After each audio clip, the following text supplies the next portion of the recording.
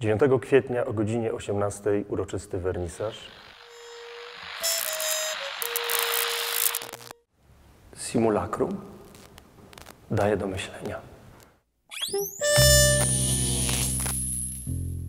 Zapraszam na kolejną wystawę organizowaną przez Centrum Kultury Śląskiej wespół z Akademią Sztuk Pięknych. Walczak. Walczak.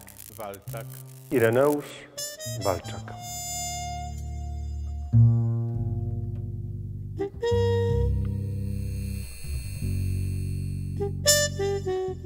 Artysta intrygujący, prowokujący, dający do myślenia, ale nade wszystko śląski.